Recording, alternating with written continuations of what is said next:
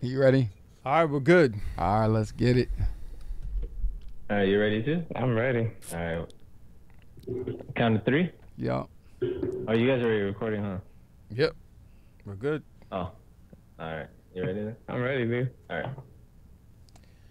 This is Reformed Raza. My name is Martin Velasquez alongside with my brothers. This is Justin Corona. And What up, everybody? This is Brother Vic. and you are now in the mix. Don't forget to hit us up at reformraza.com, reformraza at gmail.com with any questions, comments, concerns, or rebukes. You can hit us up right there. And don't forget to uh, hit that five star like button on Apple Podcasts. Five star. Five star. Want to make that clear.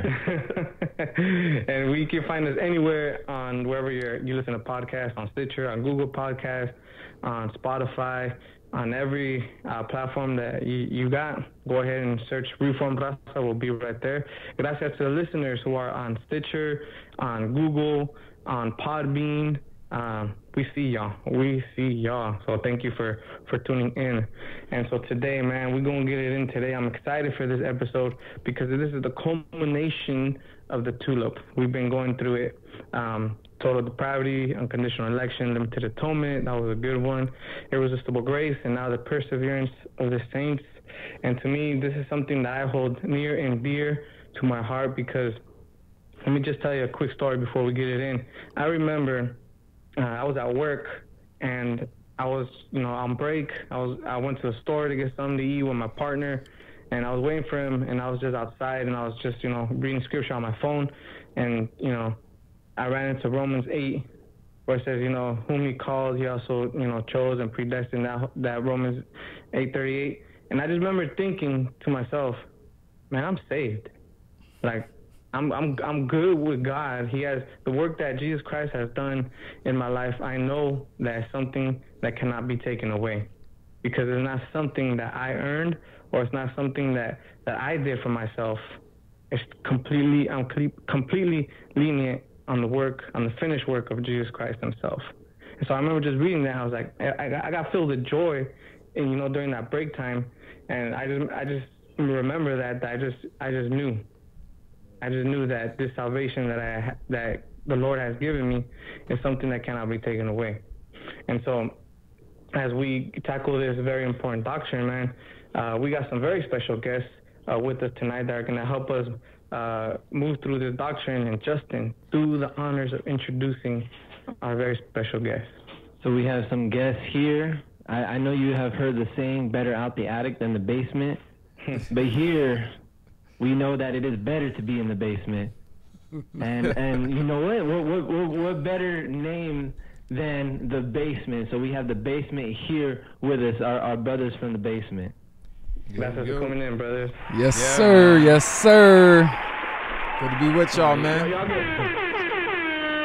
Ra, y'all get one of ra, those ra, just because I- yeah, man. Y'all, y'all get one of those just because I like that new Rising Grace album, man. Yes, sir. No, playing.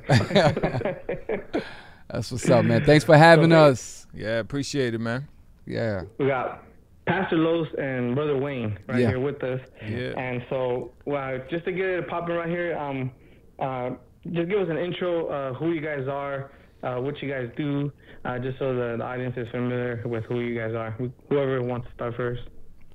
Yeah, uh, my name is Pastor Los. Uh, I pastor a church here in Lancaster City called Christ Alone Fellowship.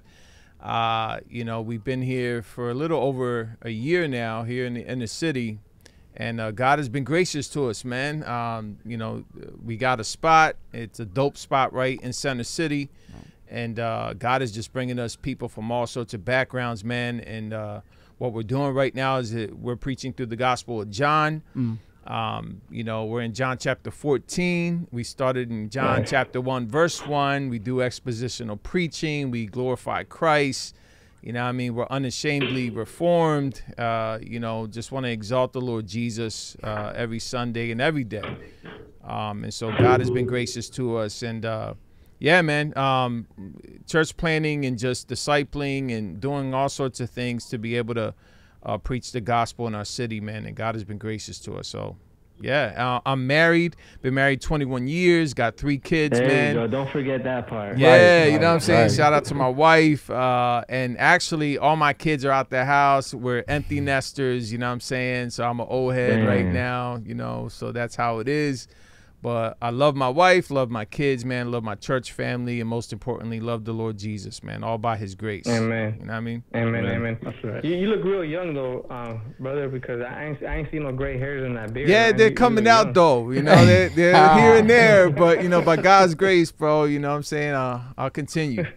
Word, word. He, he, he dyes his beard. No, no, I don't do it. Come on, man. No, I don't do that, man. Oh, man. Oh man, no. Hey, uh, my name is Wayne. Um, I'm co-host of the basement here. I am married. I'm gonna start off with that. I'm married, happily married. Uh, five years now. Um, we have uh, three kids between us, and they are right at the teenage stage. So um, Mm. that's a blessing. You guys, if you have kids around that age, you know what I mean. That's a blessing. Um, so you, uh, let me see. I, I attend the church. I help minister at the church. I do what I can at the church. Um, pastor Los is my pastor. So, um, Oh, nice. yeah, it's a blessing that we can even do the podcast together. We we kind of use the basement as a platform where we could talk about topics that are going on that that are dealing with what's going on in culture. Um, I mean, our, our slogan is the basement where theology meets the thoughts of life. So we kind of deal with all three of those things theology, random thoughts that might come to mind and, and, and come up, and then culture. Of course, we deal with um, Life. life and just everything that happens with with uh within social media on the news uh headlines everywhere so it's great to be with y'all today um reform raza what does that mean the raza part Raza, man. The Raza. part. Well, yeah, raza. You gotta say with the raza. You gotta Yeah. so raza. So we're we're Mexican American. We're Chicanos, man. So raza is just a word that Mexicans use to to say to call um our people. You know what I mean? Raza. You you guys are raza. You guys are people who are like us. So we'll we'll call each other. Hey, you know, um, raza. It means we're we're all you know one one race and that's typically what we use to you know refer to each other. But Reformed Raza, I, I got it from First Peter uh, two nine, where it says you're you're a royal, you're a chosen race, a royal priesthood, you know, a people uh, you know called to proclaim the excellencies of Him who called you out of darkness into the marvelous light. So what we are is where we it's a play on word raza, we're, we're, Hispanics use to refer to each other, but we're talking about the Christian raza, the Christian race, the Christian united people of God. And so we we're also reformed. So it's the Reformed Raza podcast. That's what's Nice, up. That's nice. what's up. Um, Dope. we do the basement through Wrath and Grace, which what that that kind of came about. We wanted to do a podcast right here where we live in Lancaster, PA, and we wanted to talk about like just local things that are going on. And Wrath and Grace, you're cool with Johan, right? And he hits you up like, "Yo, would y'all like to do it on the Wrath and Grace platform?" Yeah. Yeah, for sure. You know, we wanted to address local issues, you know what I'm saying? Uh, we saw a lot of podcasts of, you know, uh, a lot of people preaching, uh, you know, a word of faith doctrine, you know what I'm saying? And there was a lot of yes and amens going on uh, through the comment section. It was breaking my heart. So I was like, we got to do something, you know, to give our people a biblical perspective, you know? And so I wanted to take it another level. That's why we have the lights and the mics and all that, just to make it, uh, you know, a good experience for people and give them quality. Uh, and God has been gracious to us, man. And so it kind of spilled over into wrath and grace, and now we have a broader uh, people listening, more people listening than locally here. But we started off by wanting to refute error. You know what I'm saying? We we we just our hearts were breaking for what people were saying and how many people were amening everything they were saying. It was like we can't just sit by and watch false doctrine kind of like being uh, applauded. We we wanted to just show people that we can talk about issues, but from a biblical perspective. You know, so that's kind of like how everything started there. Yeah. Yeah. And, and I think on a similar note too, that that's pretty much how it started over here as well. Um, Yeah, because um, w- when Ligonier puts out their state of theology, the the um, the survey, uh, I was reading that in 2018, and same same response, you know, broke my heart that you know a lot of people who profess to be Christians don't really hold to an orthodox view of Christianity, and so then you know right here on the West Coast, uh, we have a lot of the same thing, you know, word of faith and, and a lot of amens and and uh, not really thinking critically about mm. their faith. Mm. So you know, just you know, being amongst brothers and sisters, a lot of struggles came because of a lack of biblical doctrine. Mm. So like if they were just assured, not only in in the salvation that Jesus Christ gives, but in the sovereignty of God, knowing that we belong to Him and He works all things for the good for those who love Him and are called according to His purpose. So if they were even just grasp a little bit of that, then a lot of things that, that they go to go through wouldn't be so heavy. There would be a peace knowing that God is with them and for them. You know what I mean? So, um, you know, that's why we did this thing to here too. You know, to review error and to just you know have people thinking a little bit more critically about their Christian faith. You know? Yeah, we have we have a saying here. It's called a, a glorifying God through the edification of the saints. Yeah. And so that, that that's that's our, our purpose right here is to give God the glory, but also to His elect, so that they may be edified and grow in their faith. And that, and just like how you said, not just just just to say Amen, just to say Amen, but actually know the Bible that you're holding, God's word, know Yeah. what He says. Mm-hmm. Yeah, That's yeah. I know. I know you guys. I'm yeah. sorry. Go ahead. What reason? I was gonna say before we get into the episode, uh, does Scranton is Scranton a city over there in Pennsylvania? Yeah, it's kind uh, I know where I know where you're going with this. yeah, yeah, it is. It is. Scranton is in PA. Yup, it's real. oh, okay. I always wondered that. I didn't know. I should have googled it, but So uh, all, all our listeners over here, man, y'all know that's a real place now. yeah. yeah, yeah, yeah. I, real Yeah. quick, real quick, before we get deep with the uh, topic, um, I heard you say, and and I think we agree on this too. Like, our podcast is for people who maybe they're a little bit scared to get into theology. And it's like, Yeah. Mhm. like never be scared of uh, getting deep into theology. It just literally means studying the things of God. Um, I was I was Yeah. reading John 17 earlier uh, when Jesus was praying to the Father and he said, Father, the hour has come. Glorify your Son, that the Son may glorify you, since you have given him authority over all flesh, to give eternal life to all whom you have given him. And this is the, the kicker right here. And this is eternal life, that they know you, the only true God, and Jesus Christ, whom you have sent. Hmm. And I just, I, when I see that, it, it helps me understand that part of knowing God is studying theology. So studying mm-hmm. theology, understanding who more and more who God is, that's part of eternal life. So that's not something we should run from. That's God's plan for all Christians is to know him more and Yeah. more. Amen. Amen. And also, you know, doctrine is a word that that you doesn't people don't like to use. You know, I mean, nah, I don't, I don't want doctrine. I don't, I don't, I don't want that. I mean, doctrine just literally means teaching. You know, like you don't want the teachings of the Bible, but even you know, Paul wrote um, to Titus, but as for you, teach what accords with sound doctrine in Titus two one. You know, so we we do have a a sound teaching, and that's that word doctrine is a biblical word. Yeah. Just like predestination, election, these are pre, these are bib- biblical words that, as you said, we shouldn't be afraid of. That we should be able to articulate as Christians, because this is not a, just a, a like a you know a dumb faith. You know, this is a sound faith that we can actually you know uh, talk about and articulate and be able to understand and have knowledge, but not just knowledge that stays in the head. In the head, it needs to go to our heart so that it may be expressed in worship. That's, Amen. that's the purpose of that. Amen. Amen. So let's get it in, man.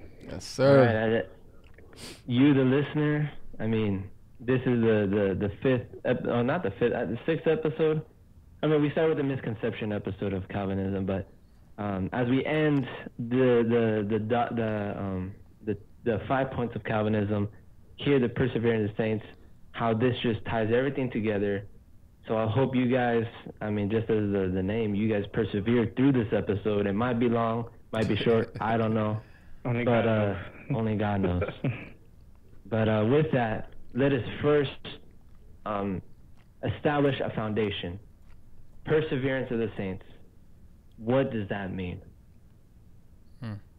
So, uh, Pastor Los, go ahead and if you can give us uh, that definition, if you will.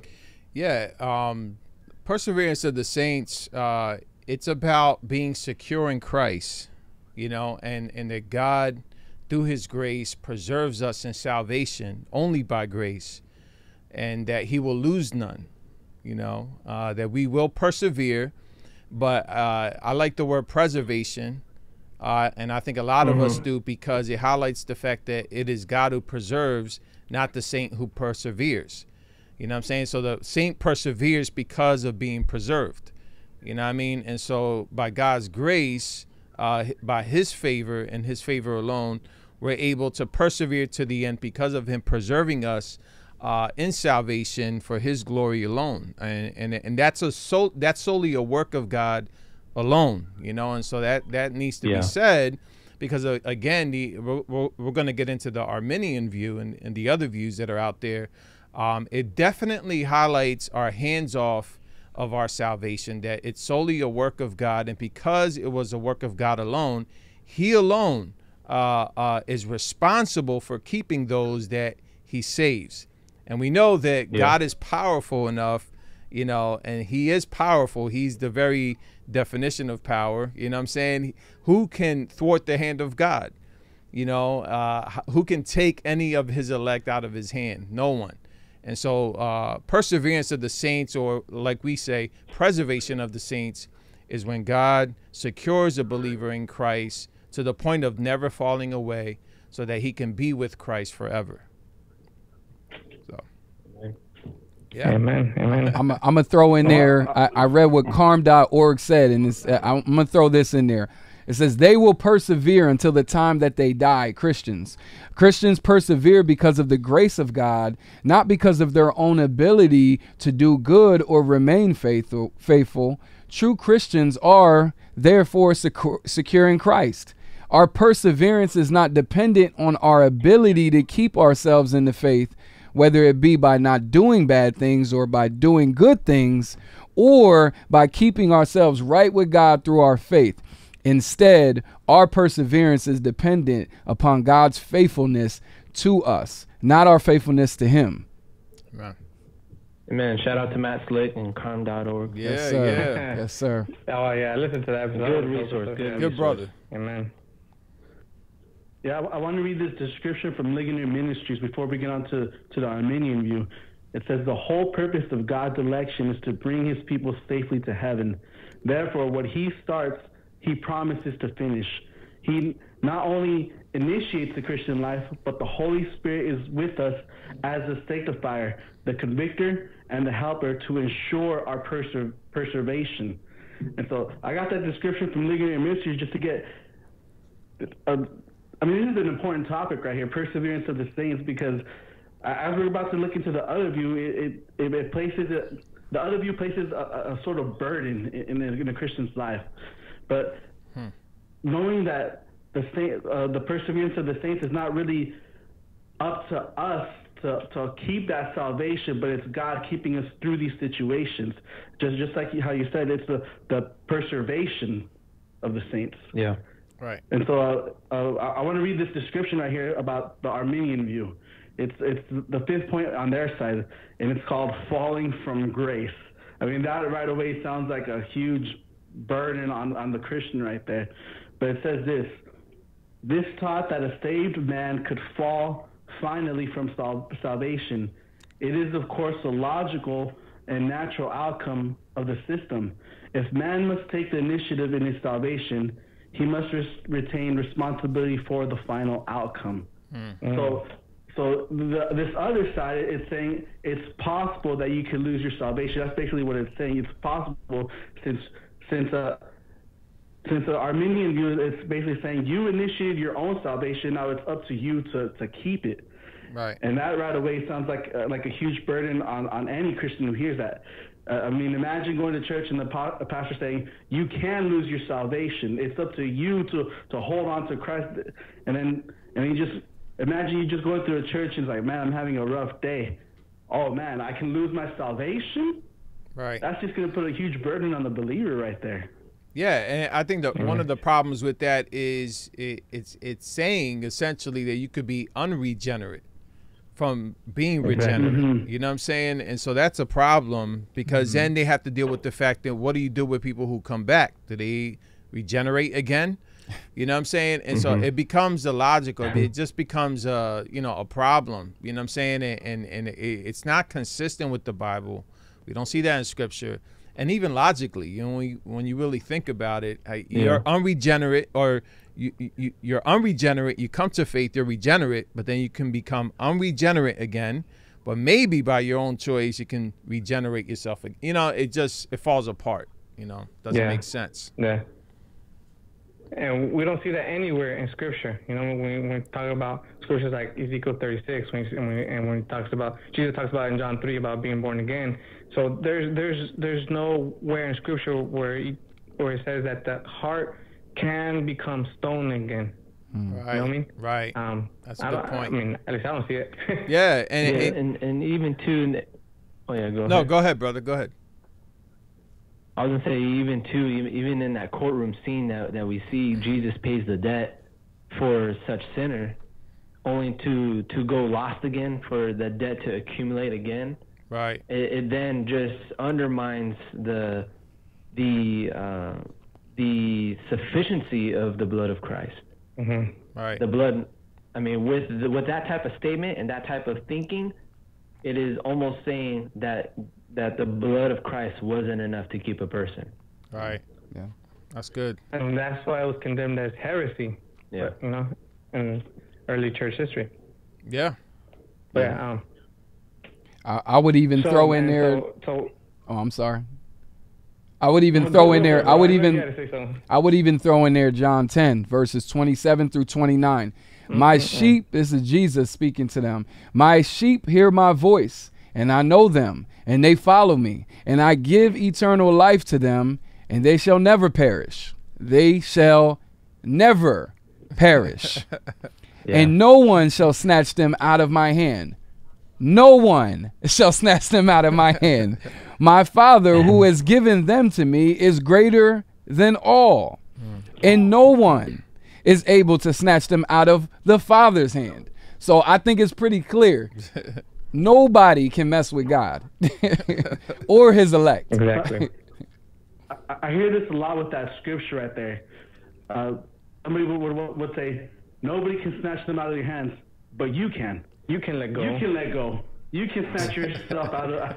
I mean, that just goes contrary to what Scripture just said. No man and no one can snatch snatch us out of His hands. No one. Amen. Right. Yeah, yeah. I I even heard it said uh, to follow that point even further. Someone said to a lady before she uh, she they said, uh, well, yeah, what. No one can snatch you from the Father's hand, but what if you slip between His fingers? And she goes, "Well, I am part. I am. I am part of the body of Christ, so I am one of His fingers, so I can't slip from His hand." so I just thought that was dope. Oh man. yeah. So so man. So we hold to sola scriptura, right? We hold to the Bible is the authority for you know faith and doctrine and everything in our lives, and so we must get our our our point of view from the Bible. So you know we already mentioned John 10. What are some other scriptures that we can point to and and be like this? There it is. The scripture says it right there that it's you know undeniable that you will um uh, you will persevere into the end because of Jesus Christ. Right.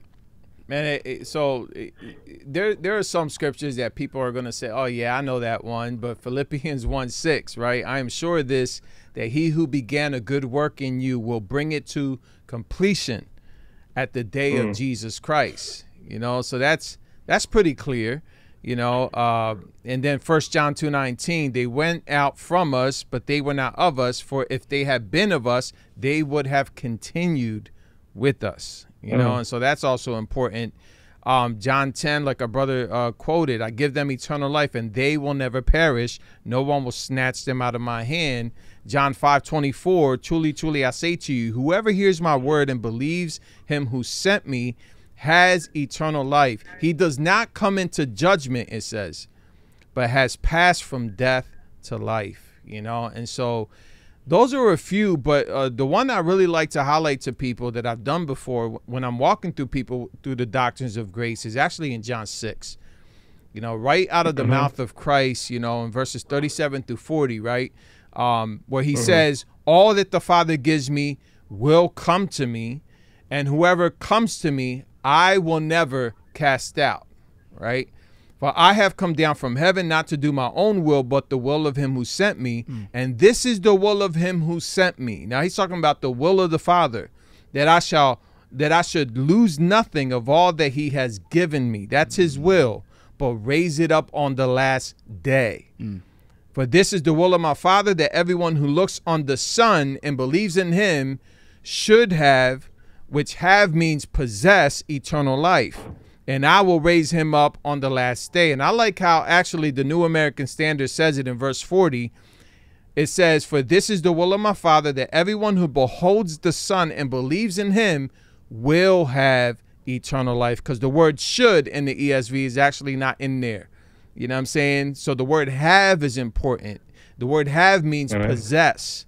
They have it. And then he says, He will raise them up, whoever the Father has drawn to the Son, he will raise them up on the last day. He didn't say he might. Yeah. He said he, he, he will. You know what I'm saying? And so I walked. Uh, this is a good verse because when you start beginning to unpack it, you have to ask the question: Who are those that are being given, you know, uh, to the Son? Mm. Well, it's those whom the Father has drawn to the Son, and He's saying, "I will never cast them out, and I will raise them up on the last day." He's going to keep them. He will lose nothing of all that the Father has given him. You know what I'm saying? And yeah. so right there you see perseverance of the saints very clearly and you also see preservation. He will lose none. You know, and so it's just very clear, you know, that the the work of salvation and the work to keep it is all the work of God. You know, and so it's it's just clear. I don't know how people cannot believe this and just look at that passage and say, yeah, you know, I don't know about that. No, it's very clear in the passage. yeah. Yeah. You know? Yeah. So I, I got a question for you real quick. Um, you as a pastor, as you know, um, you know, you have a, you have a responsibility to the flock, to the congregation. Have you ever had anybody who has had that view of, you know, you can lose your salvation? You know, when, you know, how do you deal with someone, you know, personally when they're kind of like on that on the Arminian view, and you know, how how would you walk them through it? Yeah. So I actually have a sister in our church who came from a church that was uh, pastored by a woman. You know, so mm. the, the, church had a woman pastor, and of course they have you know a charismatic, you know, Pentecostal view of salvation. Their soteriology, you know, you can lose your salvation. Yeah. Um, so what I did with her was just ask her diagnostic questions, you know, talk about what salvation is. You know, how, how does God save someone? And then she says, well, if someone receives them, if, if someone receives Jesus, they, they can be saved. And I said, okay, let's step back a little bit. Let's go to Ephesians chapter 2 and talk about our condition prior to salvation, right? Mm. And so they begin to see that we were completely dead, that we were completely unable to respond to God's grace right? And so I, so one thing I do is show them our inability to do anything for our salvation. We were completely dead prior. We were deserving of God's wrath, right? And so then they begin to mm-hmm. see total depravity. They begin to see that mm-hmm. we, we're totally unable to to to do anything for salvation. And once she sees that very clearly, then I begin to unpack election you know what I'm saying? I begin to unpack election and show her how it was a work of God from the very beginning to save you. You know what I'm saying? And so it was already destined in God's, uh, you know, infinite mind for you to be saved. Hmm. And then I show her what, what what's the cross. You know what I'm saying? Let's talk about the cross. What was the work on the cross about? And she'll, you know, I begin to show her how God specifically died for his people. You know, the atoning work that he did and then I show that very fact of God overwhelming her resistance, how, you know, um, she could try to resist all she wants, but God's going to overwhelm her with grace. You know what I'm saying? And He's going to awaken her to grace and for, for her to be able to, you know, to, you know, kind of like the biblical term is to know Christ, you know, to know Him as Savior and Lord. Mm-hmm. And then, I, you know, since God did all that work, I begin to show her how because He did all that work, He's going to keep you. He didn't go through all that work for nothing just to lose you. He's going to keep you after that work. And so once I begin to unpack all these things, they, they get it. And I walk through scripture with them.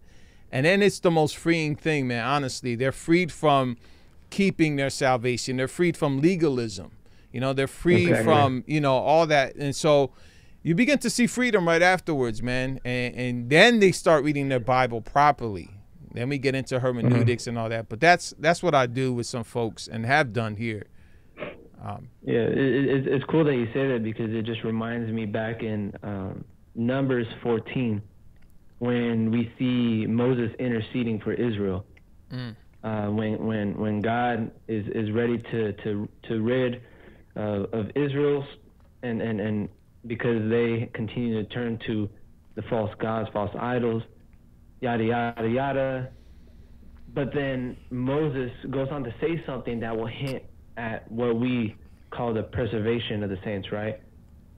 He goes on to point out that, Lord, that you have saved these people from slavery. You have brought them out of slavery. More than that, you have led these people um, with with a cloud by day and a pillar of fire by night, mm. only to, to destroy them. And, and and what Moses is is articulating here is that you're you're mighty enough to do these things, but if you destroy these people, how will the other people think of you? How will other nations perceive you to be? That you have enough power to save them but not keep them? Mm. And and and that's where we get this hint of the keeping power of, of God, that He is not only powerful enough to save people out of the bondage of sin, but to keep His people as well. Amen. And and and I've used this image before in in an, in an episode. I forgot when back, but just as much as childbearing, we or not not us as men, but women give birth to children. Right. That'd be kind of weird. I mean, I heard I heard Arnold Schwarzenegger gave uh, birth to a baby man. before. Uh, I, mean, I don't know. but uh, but but women give birth to children um, but they don't leave their children to go and, and, and keep themselves.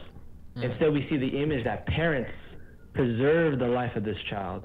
And in such a way, our, our Heavenly Father, who has brought us into adoption, will not leave us to fend for ourselves that we may lose it, but instead, He will keep us, just as you pointed out in uh, Ephesians 2, that we are His workmanship.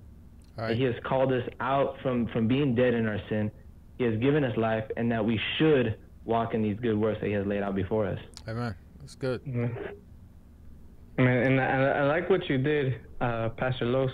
Uh, you took them through the tulip without, you know, calling it the tulip. You know what I mean? Practically. Practically, you know what I mean? Because uh, uh, one thing that I have uh, run into a lot is when you use those kind of terms with people who are unfamiliar, it kind of, you know, they get, you know, shut down by it. You know what I mean? oh, you're a Calvinist. Uh, uh, uh. Right. And so they, they start getting a little, they put up this wall, like, nah, I ain't trying to hear that because of, you know, misconceptions. But I, I, like, I like that technique that you use. You take them through everything without naming it. Exactly. You know what I mean? So when they come to re- the realization of what it is, they're like, oh, that's what I am. You know what I mean? Yeah. I mean, that's what it is. Yeah. Yeah, man. I, you know, I, I, I think, I think you're right. I think we have to do a better job at unpacking these things for people that really are asking real questions. You know, they they really don't know sometimes. They don't know where to start, or uh, you know, they don't know like the implications of you know losing your salvation. You know, um, that I I really believe like for instance, one is Pentecostalism is legalistic because simply because they got God wrong. And if you have God wrong, mm-hmm. you know what I'm saying, then everything falls apart. You have law and gospel wrong you know and so that's where you get legalism and so people are trying to keep something that they can't keep you know and maybe something that they don't even have you know and so mm. I, I think law and gospel is also essential You know, showing people the law, which shows them how sinful they are, and, and how condemned we are, and how deserving of wrath we are. But then you bring in the gospel. That's the answer to our problem, right? And so I think the doctrines of grace really unpack uh, a redemption for us and, and God's grace all over, you know, what He's done in Christ, you know. Amen. Amen. And so let's let's let's get into the meat of this episode right here, because uh, you know um, they the people who are against um, this doctrine will hold strongly because they're, they're they're out there, you know, uh, hold strongly to you know you can lose your salvation and they act that they act as this is a fundamental doctrine, you know, that you can lose it. You know I mean? Someone once told me if I don't believe that I can't lose my salvation, then I, am in the wrong church. Or I, I can lose, if I don't believe that I can lose my salvation, I'm, I'm in the wrong church. And that kind of did something to me. I was like, man, you hold so strongly to losing your salvation. Wouldn't the opposite be a lot better? That that you are kept by the Father. You know, mm. you the Holy Spirit is working and dwelling in you, and Jesus Christ has paid for your sin. That the Triune God is keeping you. Wait, wait, wait, doesn't that sound a lot better? You know what I mean? So. The one that they will pack their bullets in and shoot at us is Hebrews chapter six, right? and so let me read it real quick, and I'm gonna get your you guys' input because I'm gonna be real. This is a tough scripture on on the outside, right? Uh, from the outside looking in, you look at this like, whoa you know, what, what, what was it talking about right here? So Hebrews chapter 6 and verse 1 it says, Therefore, let us leave the elementary doctrine of Christ and go on to maturity, not laying again a foundation of repentance from dead works and of faith towards God, and of instruction about washing, the laying on hands, the resurrection of the dead, and eternal judgment. And this we will do if God permits. For it is impossible in the case of those who have once been enlightened, who have tasted the heavenly gift and have shared in the Holy Spirit and have tasted the goodness of the Word of God and the powers of the age to come, and then have and then have fallen away to restore them again to repentance, since they are crucifying once again the Son of God to their own harm and holding him in contempt. So this is the one I've heard a lot that they try to. There you go. You know, if if you fall away, you can't. You know, uh, you you can't repent again. You know, it's impossible for you to repent. So I want to get both of you guys' input on this. I want to I want to start off with Brother Wayne uh, because we haven't heard Woo! much of him tonight. Yeah. oh man. we want to go to Pastor. I appreciate man. that, bro. I appreciate that. oh man. Oh man. Um, I think, and, and I'm not gonna get very deep into it. I talked to Los beforehand and was like, I'm gonna hand that question off to you. Um, but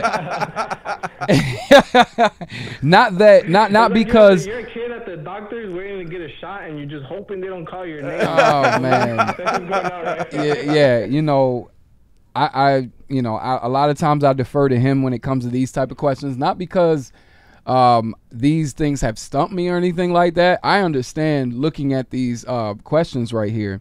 You just have to look at the context. Who are they talking to? Mm-hmm. What are they talking about? And you'll see the Jewishness of this context. They're talking about Jews that have, uh, you know, they, they want to stay stuck in the legalism. They want to stay stuck in, in in in everything that they grew up believing in. They they they heard the gospel and they're actually wanting to go back. It's very similar to the Galatians. The Galatians heard the gospel, and and and Paul even said to them, "It's crazy. Who have you been bewitched by? Like it's crazy how quickly you have turned from the true gospel to the false gospel." Um, and, and, and so looking at this right here, I, I know that it, it, he is speaking to a different audience than most people understand whenever they look at this verse right here. Yeah. It, it's all about context. When he starts off by saying, therefore, let us leave, that's because of the things that he was addressing beforehand. And if you go through, you know, the preceding chapters, you'll understand exactly what he's talking about when he gets to chapter six. Yeah. So yeah, I'll, I'll let, let me throw that first part in there, and then I'll come back to it.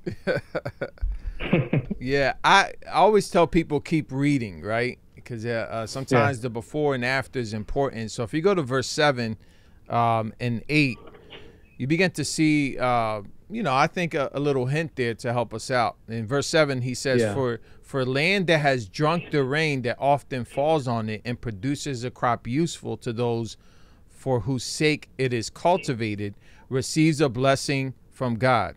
Then in verse eight, but if it bears thorns and thistles, it is worthless and near to being cursed, and its end is to be burned.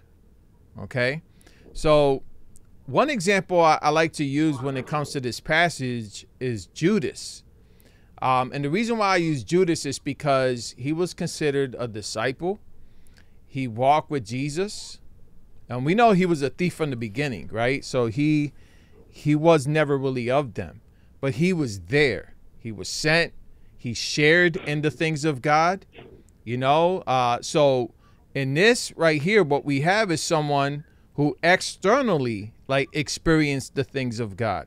You know, you you could be enlightened. You could taste of the heavenly gift. I'm pretty sure that Judas, you know, enjoyed some of the things that the disciples enjoyed because of Christ. Mm. You know, uh, and have shared in the Holy Spirit. I think Judas shared some of the things you know, that Jesus ended up doing. I'm pretty sure he ate some of the fish and loaves that Jesus produced. You know what I'm saying? And heard some of the teachings that Jesus said. Maybe he got some good things out of what Jesus said instead of actually applying it to himself. You know, he saw the po- the powers of the age to come in Christ. You know, he saw these things. And I would even say that he shared in them things in that he was amongst them. You know, but he was never of them. And I think that verse 7 and 8, you know, in verse 7, we have someone, I believe, you know, uh, he's using he's using the example of rain that falls on it, it will produce a crop. But then if it bears thorns and thistles, it is it's showing you what how that ground, the condition of the ground and and what it's going to produce from the rain that falls on it. Mm. If it's not good ground, it won't produce, but if it is, it will produce. Mm. You see so what we're seeing here is someone who shared, someone who was there, uh, someone who actually saw, uh, you know, but was never of Christ in the first place. He's mm-hmm. proving not to be, uh, not to actually have fruit in the first place. Mm-hmm. Matthew chapter 13, uh, also, I take people there too, where it actually talks about a seed sown in someone's heart, how that can actually be taken as well. You know, it talks about the the seed sown on rocky ground. And this is one who hears the word and immediately receives it with joy. So this is someone who received the word with joy, yet he has no root in himself, but endures for a while. So this is someone enduring. But then you mm-hmm. also see when tribulation and persecution arises on account of the word, immediately he falls away. Mm. You see what I'm saying? So you have someone who actually had the word, endured for a while because of it, had joy, but they fell away. You see, and so I think that's important. And I think Judas is a good example of that. Someone who actually was there with the disciples, was one of the 12, but was never of, you know, of Christ. And so I believe this is just showing us an external example of someone who's actually in the midst of God's people, who enjoys the benefits of it, but was never of of God. You know what I'm saying? It's kind of like the Old Testament equivalent of somebody being circumcised outwardly, but as Paul said, you were never really of Israel unless you were circumcised inwardly. You know, mm-hmm. and so you do have Old Testament examples of unbelievers enjoying the benefits of God, actually the national blessings of God, but are actually never of Christ in the first place. So I don't that's what I see here, you know, and I think that's a good example for the Hebrew that externally, mm-hmm. you know, it's not enough to know Christ you know? So that's how i tackle with it. I just think it's just it's just an external example of someone who reaps the benefits but was never of christ in the first place. So. Amen. Amen. And i, I would even go to uh, matthew 7 where you know there's there's people that so let me read it. Matthew 7 21 says not everyone who says to me, Lord, Lord, will enter the kingdom of heaven, but the one who does the will of my Father who is in heaven. On that day, many will say to me, Lord, Lord, did we not prophesy in your name, cast out demons in your name, um, and do mighty works in your name? And then I will declare to them, I never knew you. Depart from me, you workers of lawlessness. So these are people who did have a, a, a partaking in the gifts of, of the Spirit, right? They prophesied, they did works, cast out demons, things like that. But yet Jesus declares that he never knew them. So they were partakers, and I think in Hebrews in, in Hebrews six, one of the key uh, words right there is they were enlightened. So it's not in a salvific sense. They were partakers of what the Spirit of God offers, but they never they were never came to that place of salvation. Yeah. So just as First John says, they were among us, they were part of us, but they were they went out from among us. That so it may be manifest that they were never really of us. They were here, they were in the church, they were clapping their hands, they were you know worshiping and doing all these things as you know as far as church goes. But when it came down to the matters of the heart, they were never right. really regenerated in the first place. Another example so, is um, um, when yeah. when Paul talks about the unbelieving spouse, right? Like how they're mm-hmm. sanctified. You know what I'm saying? Mm-hmm. So uh, an unbeliever could be set apart for godly use also. You know, an unbeliever uh, mm-hmm. who's married to a believer reaps some of the benefits of that believer's faith in the family. You know what I'm saying? Mm-hmm. So, you know, that's another example. Someone who can enjoy some of the benefits that God gives and not be saved. You know, it's like common grace. Yeah. You know, that, mm-hmm. you know, we all kind of reap benefits. Even unbelievers do. You know, when you have a solid church within a city that loves the Lord, that city's gonna reap some of the benefits of that church. You know, so that's a that's a way of sharing that's not salvific, as you said, and I think that's what he's talking about here. You know. Yeah, and and and I'm. It, it's almost reminding me again back in um, that time again in Israel. Um, the nation, the, that generation that God had performed these plagues, they wit, they were eyewitnesses to the plagues that took um, that were taking place in Egypt and they've witnessed the miracles of God and how He had led them through. But nonetheless, we we understand that even after that whole conversation between Moses and God, they did not see the promised land. Yeah. The generation after after them did. God didn't cut off Israel. Um, Israel continued and did see the promised land, but that generation didn't get to see it. Hmm. So they did partake in the things in the, in in in, in uh, what God was doing, and, and just like how you said to your point, there are those people that are that have been built on this rocky foundation. Um, they may come, they they go with the flow of the emotion they experience, but then when a real tribulation comes, a trial, whatever may come their way, they're blown out, and it only goes to prove they were never solid in what they believed in to right. begin with. And just to back that up with Matthew 13, Jesus also talked about, as for what was sown among thorns, this is the one who hears the word, but the cares of the world and the deceitfulness of riches choke the word. And then it, he says, and it proves unfruitful. You know, so it's proving mm. that it was never fruitful. It, it kind of like going back to verses 7 and 8 of Hebrews 6. It's just proving that it's cursed. It's proving that it's deserving to be burned. You know, when rain falls mm. on it, it doesn't bear any fruit. It's just showing you its condition at the end of the day. And I think that's what he's talking about here that if this person actually was saved, uh, they would never fall away. You know, they, they, wouldn't need restoration, they, they would have been already restored. But they're just proving that they're unfruitful at the end of the day. An external experience with God happens all the time. You know, it, that's who we call nominal Christians, right? They they come to church. You know, we might even have unbelievers in churches that, and even solid churches, maybe. You know, you could have people serving and not be saved. That could happen too. You know what I'm saying? And, yeah. and so, you know, I, I think at the end of the day, you know, by God's grace, He keeps us and will prove to be fruitful. But I think Hebrews 6 is talking about someone who has an external experience with God and no internal change, no heart change. Yeah. And, yeah. I, I, I, oh, were you gonna say something? I was just gonna say when it comes to this question right here, can ele- can an elect person fall completely away from salvation? I think we got to just keep it nice and simple with them. Everyone knows John three sixteen.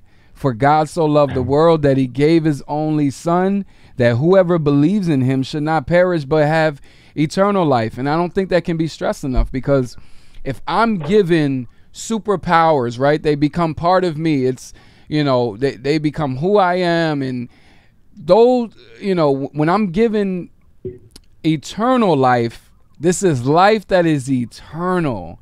It's like you can just ask them a simple question. It's not short term life. It's not temporary life that we're given. We're given eternal life. So how long is eternal? How long is eternity? Hmm. Amen. Yeah, and I was, I was going referring back to, to you know to, to the fruit. It's, it's about being, uh, bearing fruit with keeping with repentance, and so that just reminded me of, of Galatians chapter five, because at one time, me too, when I read Galatians chapter five, I, I didn't see it in its context. I, I didn't see it as a as as a way that's meant to. So I saw Galatians chapter five, and I thought it, it was a list that you, that there's things that you you cannot do, like kind of like a like a a burden, like a law again. That's Like what Galatians, yeah, that's what Galatians is all about. Talking about that the Christian is free in Christ, and to not use your freedom to indulge in the sinful nature, to indulge in your sin, and it gives that list to abstain from sexual immorality, to to not get drunk, jealousy, envy, anger. And then it would go on to say this after after all that list. It says, "I warn you, as I warned you before, that those who do such things will not inherit the kingdom of God." And so, at first glance, when I read that, I thought like, "Oh, you can lose your salvation because uh, if you do one of these things, one of these acts, automatically now you're excluded because uh, uh, you committed one of these acts that, that are on the list."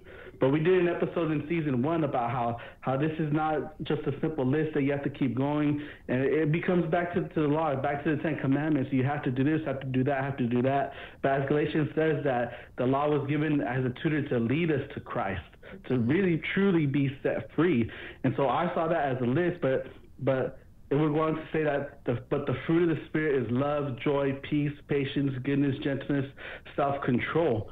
And so these are the things that a Christian bears fruit of. This is the evidence of salvation. And so now this this other list, it's not so much as as oh you have to you can't you can't you have to you have to. It's more like if you see anybody doing this, they're not in Christ. They're not truly set free. They're not have, have not been regenerated. And those persons who live in, in that habitual sin will not inherit the kingdom of God. It's Right. not saying that oh they they were they're saved and then you know they're falling back into sin, you know, playing hokey pokey with God, one foot in, one foot out. No, it's saying that those who live a lifestyle of all of these sins, they you can be sure that they will not inherit the kingdom of God because they are not safe to begin with. But the true Christian who who, who God uh, uh, persevere, who, who per, uh, preservation that that the, that the Christian is being persevered.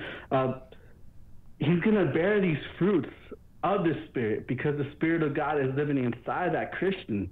And this is how you can tell a, a true Christian from a fake. It's not saying that that person was was was uh, was saved now he's not. It's saying no, this person was never saved, and this is evidence of the true Christian right here. That the true Christian is going to bear these types of fruit. Okay. Yeah. I, I, I even like to go to Jeremiah thirty two forty. I will make with them an everlasting covenant that I mm. will not turn away from doing good to them.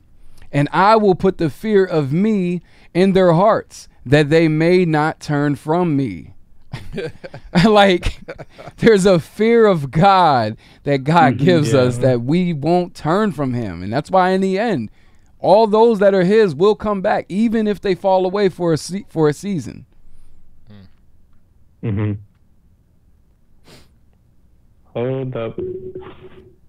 We're having some technical difficulties right now. Hold up. All right, we're back. Sorry, that was a little hiccup right there. But It's all good.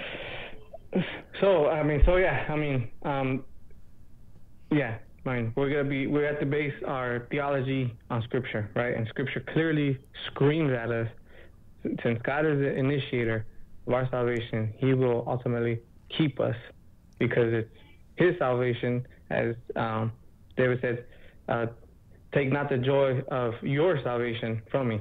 You know what I mean? and and it's a promise that he made to to us as well that we can take being his children um, by faith um, in Ezekiel 36 right I will put my spirit in them I will clean them and, he goes on to point out all the eyes that he will do for us nowhere does he say um, and you must do these things for me. You must keep yourself. No, he's he goes on to point how he will uh, lay out this foundation that all of the working of the Christian in redemption to sanctification will all be the work of Christ. He God will will build his church in such a way with holy hands. And, and you know, you could take that back to Old Testament as far as building of the temple, but except this will be a better temple. He will be building up his church from the, the temple of the body with holy hands. Mm-hmm. Not that, that us, that we would build ourselves and, and build up our own, uh, or, or build our own type of sanctification, but he, through the Spirit inside of us, will do that. And more than that, he will give us the desires that we may want to please God in such things, that we won't even leave. Amen. Amen.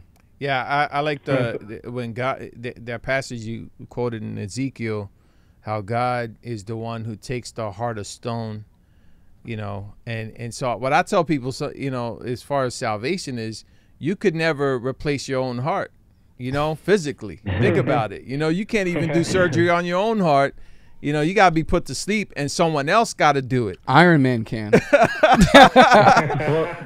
yeah, and I think uh, Wolverine that too, right? You know what I mean? you know what I mean? So if we can't do that ourselves, I mean, that's just a basic yeah. example. Like, you know, it, it, it takes an external righteousness, an external work from ourselves for us to be changed. You know, so we can never do it ourselves. Yeah. Mm-hmm. Amen. Amen.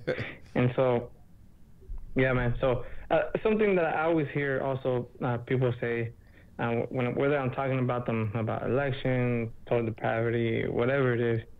So what, man? Are we just puppets then? Is God just playing with us and we're just little toys in, in, in God's hands and He's just doing whatever He wants with us? And since you know we emphasize a lot, you know, God and His sovereignty, and He's the one that does the salvation and the working, and it's all we give all glory to God and everything, right? So if God is keeping me, am I just a puppet then? What y'all got to say about that? Yeah. Well, I would say um, we're being sanctified. You know, now that we're saved, we're being set apart. And um, I think what I tell reform people, especially some some people that are still in the cage stage, you know, like I have to tell them, you know, calm them down a little bit and say, hey, uh, obedience is actually something that you know God is calling us to do. He's calling us to obey His commands. Yes, it's by His grace, but disobedience is an actual category in Reformed thinking. You know, I have to tell mm-hmm. them that. You know, you can disobey God. You know, God uh, convicts you of sin. You can disobey. You know, and so disobedience is real. It happens. You know, mm-hmm. and we yeah. we at times fall short of what God has called us to do and so, no, we're not puppets in that sense. You know, we take all the credit for our disobedience. You know what I'm saying? That's what we do well. But we have to give God all the credit for anything in us that does any good. You know, that's where God comes in, and and any everything that uh, that we do as far as uh, obedience or anything good comes from God. And I think what we do well is disobey, which can happen to someone who's regenerate. You know, so we're not puppets in that sense. You know, God has given us, I like how James White says it, creaturely will. You know, I don't like to use the word free will because that comes with all, you know, sorts of problems. But the creature does have will. You know, we can make choices. And sadly, we mm-hmm. make choices that, you know, are, you know, we, we can break God's command. We can not love our wives like we're supposed to or, you know, do certain things but no, we're not puppets in that sense, you know. And I, I, I would push back on the Arminian view. I've, I've heard my Arminian friends always talk about, you know, that whole uh, puppet terminology. And, you know, like, you know, for instance, some of them actually go into open theism because they have mm. to, they have to, you know, keep free will at all costs. And that's what open theism mm-hmm. is it's to, it's it's to keep and preserve free will at all costs. So God has yeah. to not know the future somehow in order for us to do anything. Because if He knows everything we're going to do, then there's no free will, mm. which is ridiculous. You know, it, it's like we yeah. can make decisions still as Christians, as believers that are sinful. Um, but like our brother said, we can't live in our sin. We, you know, First John talks about we can't make a practice of sin if we're born again, but we can disobey God, and we have You know, and that's why we continue to go to him. And so, no, we're not puppets in that sense. We take all the credit for our wrongs and disobedience, but any good that comes from us, we give that to God. You know, He's the one who causes good in our lives. Amen. I, I would say Amen. when it comes down to it, like because of sin, we can't say that we have free will. Our our our, hmm. our souls we're we're held bondage because of sin. Like we're mm-hmm. held we're held to these standards where it's just like we're evil.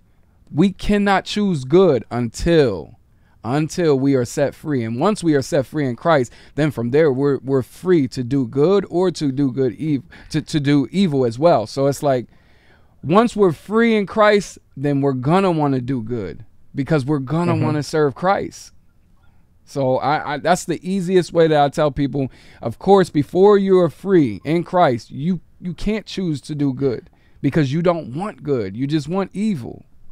Yeah, I, I like the example also of Peter blowing it in Galatians when Paul talked about how he rebuked them openly. You know, Peter got it wrong. You know, he was an apostle. You know what I'm saying? And so he he he made a big mistake. You know, and he had to be corrected. And uh, Yeah. I don't think it was God causing Peter to, you know, almost fall into another gospel. That's our problem. Mm-hmm. You know what I'm saying? Yeah. And so there are things that God decrees, there are things that God wills. You know, He decrees everyone to be holy, yet, you know, He allows us at times to not to fall short of that. You know what I'm saying? And so I think understanding God's will, his decretive will, his permissive will, those those those things are helpful in talking about personal responsibility, especially for those of us who are reformed and especially for those of us who are still in the cage stage. You know what I'm saying? I think I've been there, you know what I'm saying? And it's like, look, man, I've lived long enough now to know that, you know, through conviction, through the Holy Spirit, there are things I'm going to do wrong and I'm still in need of God's grace. You know what I'm saying? I still need the gospel every day. I need to preach the gospel to myself every day, remembering law and gospel every day because it's going to show me my inability, but also it's going to show me the beauty of the gospel. You know, that's an everyday thing. And so, listen, man, we're not puppets at all. You know, it, we're just, it, you know, when it talks to, about the omniscience of God, God knowing all things, yes, He does. That's just how, you know, that's who God is. Um, but we're still responsible for our choices and the things that we do. God is sovereign, Yeah. but we are still responsible. That's Right. how you chalk it up to that. yeah, and, and we definitely get um, through reading scripture that there is a human responsibility to um, obey God and to do things that God has commanded us to do. And one scripture I would go to is Philippians in chapter chapter two, verse twelve. It says, "Therefore, my beloved, as you have always obeyed, so now, not only as in my presence, but much more in my absence, work out your own salvation with fear and trembling." And there's a key one right here. People stop right there. Oh, you got to work out your salvation. You got to do it. The next verse, verse 13 says, For it is God who works in you both to will and to work for his good pleasure. Amen. So we see we see both of them right there. We see that there is a responsibility for us to obey. Amen. But all the good that is in us, we give all glory to God because it is Him, it's actually Him who is working in us for His good pleasure. So any of the good, whatever we have, the good works, the, the good things, the, the good that we have, it, it all goes back to God Yeah. because it's His Spirit working within us. So therefore, I mean, there's a responsibility, but still all glory to God because He's the one that actually is working through us. Because left to ourselves, we're, we're not gonna do anything good like that. You know what I mean? Yeah, and it, it might be a nice song, but it's not a reality. You know, I'm your puppet. I for, for, for all you guys who, who like listen to oldies, you you know what's up. Man, I, I say, man, I got man. Side question real quick. Do y'all bump oldies over there on the East Coast? yeah, yeah, I do. Yeah. Yeah. I guess yeah, man. I do. oh man. But my oldies Whenever might be a little bit newer than y'all's oldies. He calling y'all old. well, I'm looking. I'm looking. Martin and Los. I can't see my man in the corner. I'm going to guess my man right here. We probably the same age, yo. Oh man. Uh, yeah, West, West Coast, man. You know, cholo oldies and all that kind of stuff, man. Low riders, all, all that stuff. We, we we on that, man. We on that. What's what's oldies for anyway. y'all? What's oldies for y'all? Oh I'm, I'm thinking like black and white, like that type of oldies. Yeah, I'm talking about old school, ni- The one where you get, the one that you hear like the vinyl sound in the background. Oh, the, snap. Nice, yeah, man. nice. All of that, all of that. Um, so yeah, man. So uh, we we we talked uh, about a lot of things tonight, and um, I, Justin, I think you answered this question earlier. Why is it vital for God to keep His people? And you made the reference about Yeah. Moses and then the reputation God will have, like He was strong enough to to deliver them out of Egypt, but not strong enough to keep them. So I think, I mean, in that sense, it is vital. Uh, for God to keep us for His own glory, for His own name's sake. exactly. You know what I mean? And all glory to God in that. So as we begin to, you know, wrap it up real quick, what is an application of this doctrine that we can use personally? So how can we personalize, internalize this, and not be so like uh, cage stagey or anything like that? Um, you know, how can we internalize, you know, just you know, either the tulip in general or the per, uh, perseverance of the saints? How how how does this how is this supposed to go into our heart? Yeah. But I tell people with the doctrines of grace, that what they're supposed to produce is humility. You know, Yeah. it's, it's by grace. You know, and uh, that's what I try to help people understand when their when when their introduction to Reformed theology is the way it is. Sometimes, unfortunately, I try to bring them back to the fact that God did, doesn't need you. You're not that. Mhm. You know, like you were dead. You were dead in your sin. Um, and so I, one way to uh, practically like apply this is to go back to basics and realize how holy God is, how evil we were, you know, and how sinful we can be, and humble yourself. Go to God before prayer, remembering that you, the privilege even to pray before a holy God is given to you by grace, you know. Um, and so it should affect your prayer life. Uh, you should forgive anyone uh, remembering the forgiveness that was given to you. When you're going through the doctrines of grace, you begin to really unpack redemption and how God has forgiven us of a crime that was deserving of eternity and separation from Him. You know what I'm saying? And so when you begin to unpack these doctrines, man, it should produce humility. It should always produce like you know this this awe that God would even choose me. You know, in spite of me. You know, and so Mm. it, it should just break you, man. It should just break us to humility, to prayer, to worship, you know. And I think that's something we need a little bit today. You know, that the the world is so loud. Everybody's eh, loud and angry. Everybody's like feeling privileged, like we deserve things. It's like, no, we don't deserve Yeah. anything, man. When I go before God and worship, the very fact that He accepts my voice and anything I got to say, it took the Son of God to die on the cross for that to be possible. So that's how I internalize it. I, you know, I, I think about it every day, man, and I get broken by it. Then I start remembering those that offended me, or maybe I'm struggling with forgiving a brother. You begin to forgive quickly, man, when you realize the forgiveness that was given to you. And I think always going to the cross, always going before God, remembering the doctrines of grace that should produce uh, a graciousness in the believer's life. I think that's uh, a way to apply it, man. Remembering what God has done for you. Yeah. Yeah. Um, Amen.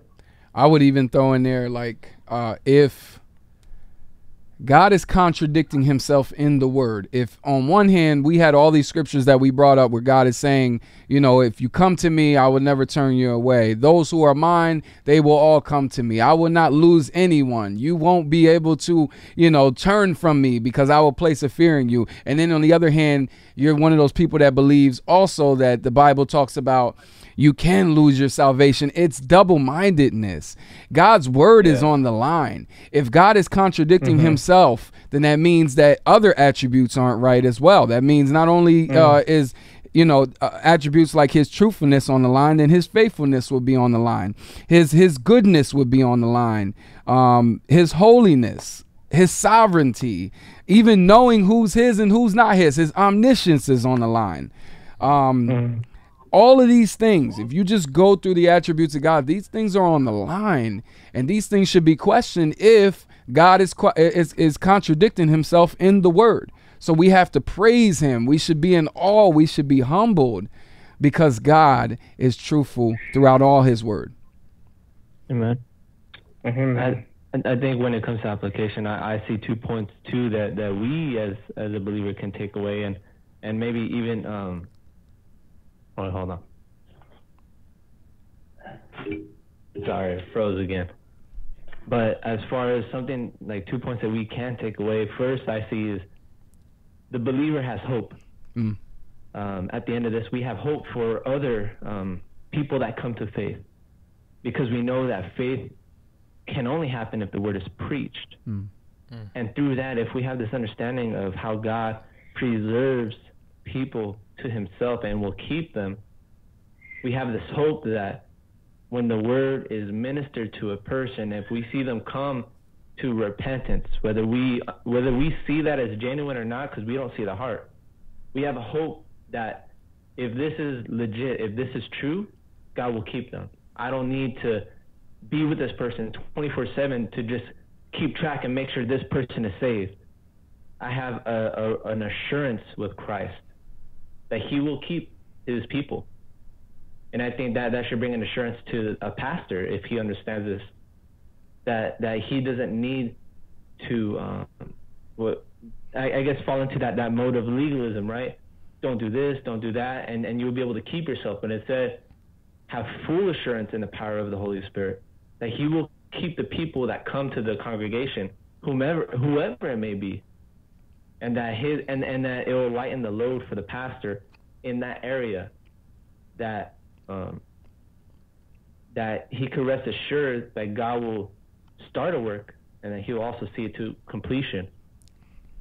And then a second point I see that that can be applied, um, and and um, I mean you guys could correct me if I'm wrong, but this also brings if this if this is understood correctly, this can be brought to a church when it comes to um, expelling people from the church.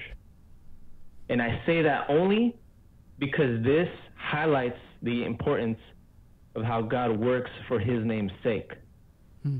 So if we understand that God um, will preserve his people for himself, as far as when it comes to church government or politics, whatever you want to call it, when we see believers in the congregation with us or people that we um, have a profession of faith within our congregation, when we see that they are living in habitual sin, we need to be able to go through the steps as Jesus pointed out to, to address it, to bring it amongst a, a, a small group, and then if if still not um, heeding the word of correction, bring it before the church, and if not, cast them out.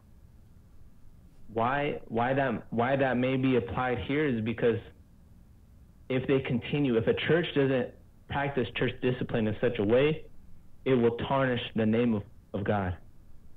And so then it will it would only um, taint this idea that God doesn't preserve his people. And that's why I think if, if church discipline is done correctly in such a way that that that when um, it gets to that point, and sadly if, if it does have to get to that point, that people can understand that this person was not of us because they have not followed in the discipline as as far as when it comes to um, sin and correcting sin in repentance, however it may be. But nonetheless, we're not going to excommunicate them from our lives, but we're going to treat them as an unbeliever.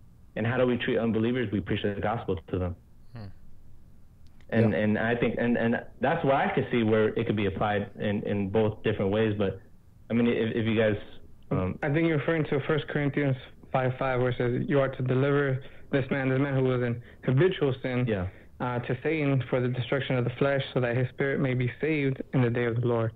So all for um, the good of his soul, so that you know the, the flesh can be destroyed, so that you know he can come to that full repentance.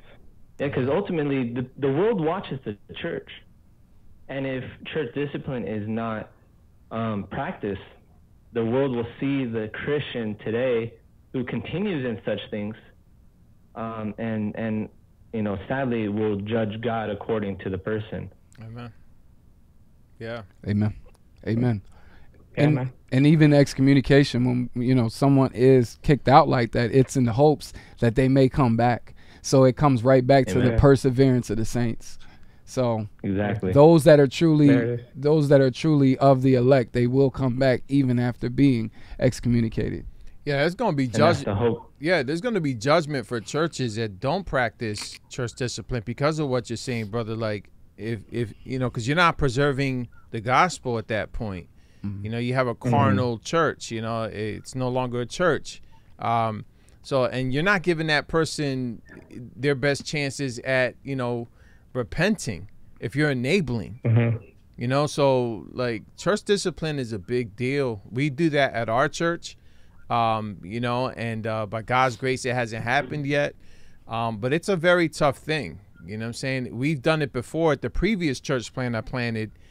That was one of the hardest things we've ever seen done. You know, Yeah. like my brother, I had to separate from my brother, from someone that I loved, someone that I discipled. You know what I'm saying? That was the hardest thing I've ever done. And a sister uh, that we love. You know, it was very hard. But the beauty of it is that they actually came to repentance. You know, they came back and they came back into fellowship. They apologized to the congregation, you know. But the gospel at the end of the day was preserved. You know, people got to see restoration, they got to see correction, they got to see all these things. Church discipline is a lot of work, man. But you know, um, if if you love the Lord, if you love people, if, and you want want to maintain gospel witness, uh, it's well worth it. You know, and it's it's it, we need to do it for sure. Amen. Amen.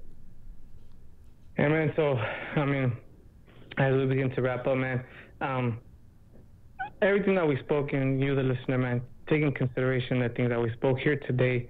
Um, dig into the scriptures. You know, like we always say, man, don't take what we say, don't take what pastor says at face value. Do the work that needs to be done and be a Berean. Search the scriptures to see whether these things are so. Uh, don't trust us. Don't believe us. go do the work. Go dig in and, and, and, and let the Lord reveal himself to you. Um, so thank you, uh, brothers, for, for hopping on this episode with us, man. Uh, it was a it was a blessing, man. You guys were a huge uh, encouragement, and you know, it was just it was dope to just chop it up with you guys and do a little episode. Go ahead and plug your guys' stuff right now. Where can they find you on social media? Where can they listen to your guys' podcast? Go ahead and plug that thing in. Yeah, man. Facebook.com uh, slash Wrath and Grace. Uh, we go on every week. Uh, we flip flop every week. One week we'll do Wednesday. the other week we'll do a Monday. But uh, that's because on Wednesdays, on on one of the Wednesdays, we have our men's group. So we want to be committed to our church first uh, before a podcast. You know what I mean? So That's we have we have our men's group, and so the the week we have it on Mondays, we have our men's group on that Wednesday. But every other Wednesday, then uh, we'll be on. So Allow me to shamelessly plug real quick. So every almost every almost every episode I try to find episodes that cuz we're like what 60 some episodes in now and we've dealt with some of these topics a couple times even if it's briefly. So um episode 20 once saved almost saved. We dealt with whether the Bible says you can actually lose your salvation. Episode 44 we dealt with, you know, God bringing uh, a sinner uh, uh, back alive. And, you know, we dealt with episode 44, Grace Alone. Episode 48 and 51, Faith Alone, part one and two. We dealt with all of the solas. So, episode 52, Christ Alone. Episode 56, Scripture Alone. Episode 60, Glory, Glory of God Alone. And in episode 44, we had Matt Slick on, and we dealt with um, God's sovereignty. Um, we dealt with election, predestination, predetermination. We dealt with a whole lot. So, like that question Yeah. on Yeah. on on the puppet and all that, are we just puppets used by God? We dealt with that in episode 45. So, shamelessly plugging right there. Amen. Go amen. ahead. Joy. And that was a dope episode. I listened to that episode with Matt Slick. I was like, man, Man, he's a straight shooter. He Yeah, got bro, he don't ready. play. yeah. And brothers, we Yeah, want to yeah, have he- you guys on. You know what I'm saying? We want to encourage you. You know, keep doing what you do. You know what I'm saying? The Lord will bless it, and He already has. And uh, we want to have you on, man. So we got to talk afterwards. But um, God bless y'all, man, and everything that you're doing out there, man. We need it. Straight, straight up. amen, straight up. amen. Straight up. Appreciate y'all. Yeah. Appreciate y'all, man. And um, so uh, go ahead and hit us up, reformedraza.com, reformedraza at gmail.com with any questions, comments, concerns, or rebukes. You can hit us up right there. Don't forget to hit that uh, five star button on Apple Podcasts. Go ahead and like the episode, share the episode, share your thoughts, leave us a voicemail in the description below. You can hit that button and leave us a voicemail, and we'll play your voicemail over the air. So I just, you know, I just want to say thank you to the listeners. Now, y'all been faithful. We've been, you know, slowly growing uh, these past couple of months. So I just want to uh, give a shout out to the listeners, man. Y'all, y'all, y'all faithful. You know what I mean? so, uh, so shutting down. This is Reformed Raza. We do this to glorify God through the edification of the saints. Grow as we grow. A rato. Rasa, rasa. I like that. there you go. Amen. Yeah, God bless y'all. Hit that Yeah. Stop button. That-